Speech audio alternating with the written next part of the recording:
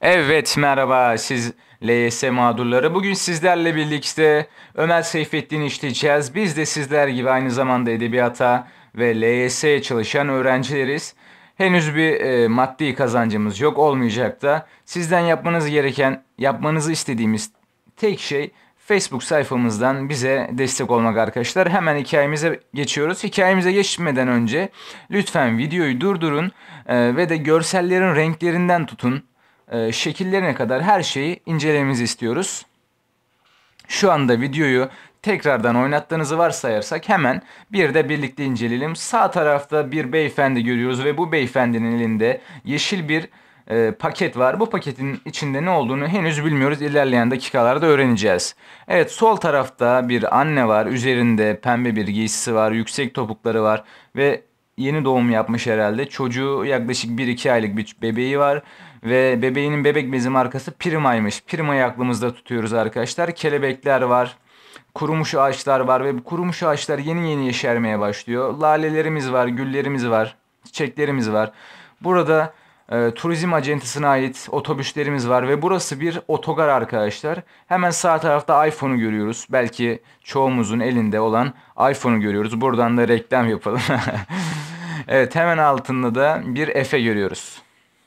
Zeybek oynayan. Şimdi hikayemize başlıyoruz arkadaşlar. Sağ tarafta görmüş olduğunuz beyefendinin adı Efruz arkadaşlar. Biz ona saygı çerçevesi içinde olduğumuzdan dolayı Efruz Bey diyoruz. Efruz Bey zengin bir iş adamı ve bu iş adamının 3 adet şehirler arası otobüsü var arkadaşlar. İstanbul'dan Ankara'ya e, yolcu taşıyan bir otobüs acentası ve bu acentanın adı Efruz Bey arkadaşlar. Efruz Bey turizmden aklımıza gelecek.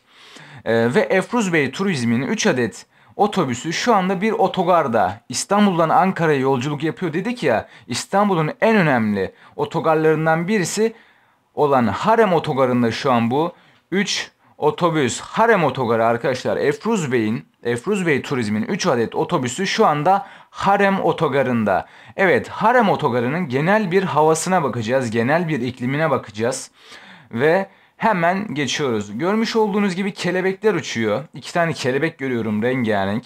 Ve kurumuş bir ağaç görüyorum arkadaşlar. Bu kurumuş ağaç yeni yeni yeşermeye başlıyor. Yeni yeni yeşermeye başlıyor ve altında da çiçekler var yeni yeni yeşermeye başlamasından e, ve kelebeklerin uçmasından neyin geldiğini anlıyoruz? Baharın geldiğini anlıyoruz arkadaşlar. Baharın geldiğini anlıyoruz. Bahar ve kelebekler. Evet bahar ve kelebekler yine Ömer Seyfettin'in en önemli eserlerinden birisi. Aynı zamanda kurumuş ağaçların altında görmüş olduğunuz gibi beyaz laleler var arkadaşlar. Beyaz lale. Bu da Ömer Seyfettin'in önemli eserlerinden birisi Beyaz Lale. Beyaz Lale'lerin e, hemen üstünde de gördüğümüz gibi kurumuş ağaçlar var arkadaşlar. Kurumuş ağaçlar yeni yeni yeşermeye başlıyor. Kurumuş ağaçları da unutmayacağız.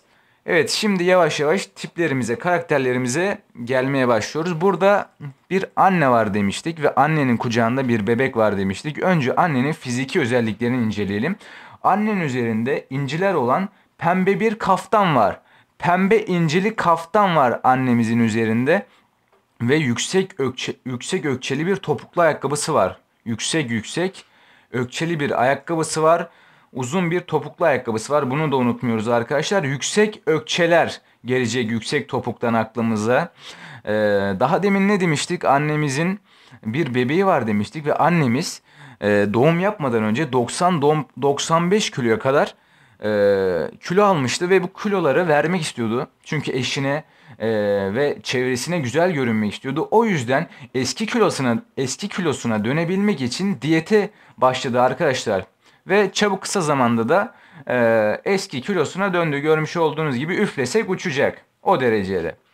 Evet şimdi de bebeğini inceliyoruz. Ne demiştik? Bebek bezinin markası Prima'ydı değil mi arkadaşlar? Prima. Bunu da unutmayacağız. Bu da ikinci reklamımız olsun iPhone gibi. Evet Prima bebek bezi kullanan bir Türk çocuk bu. Primo Türk çocuğu. Evet Prima bebek bezi kullanan bir Türk çocuğu bu. Primo'dan aklımıza gelecek. Evet bu Primo Türk çocuğunun annesi Efruz Bey diyor ki Efruz Bey, Efruz Bey ünlü olduğu için tanıyor yani koskoca iş adamı. Diyor ki ben bebeğime ninni anlatmak istiyorum ancak işim çok olduğu için bir akıllı telefon alıp oradan otomatikmen anlatmasını istiyorum diyor ve iPhone'un yerini soruyor. iPhone'un adresini soruyor.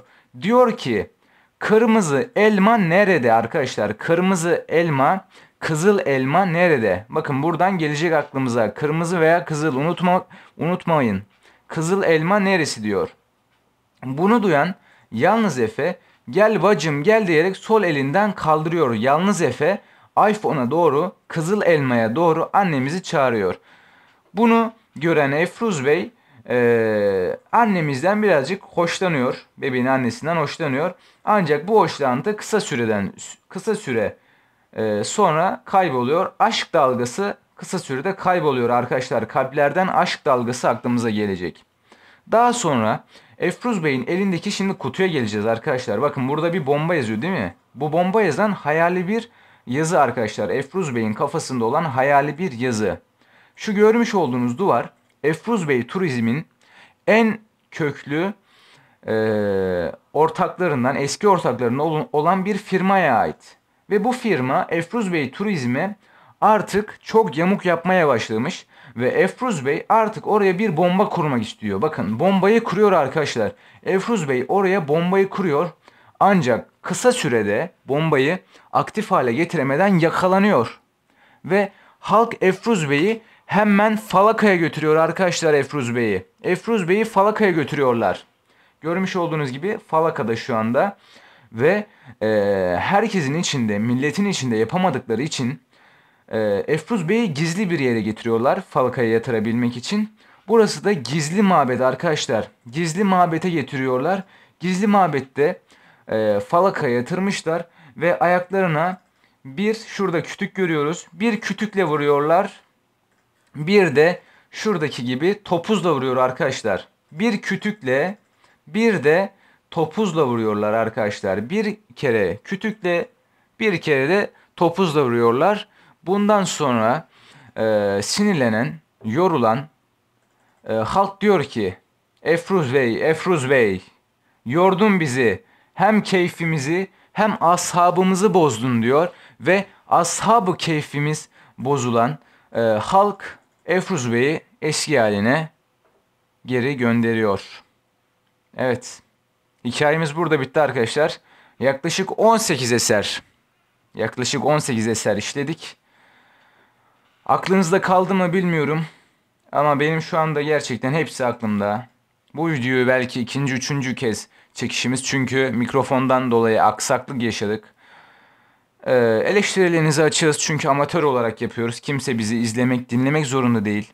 Para olan, paralı olan firmalar var. Onları tercih edebilirsiniz. Biz imkanı olmayan arkadaşlarla bunları paylaşmak istedik.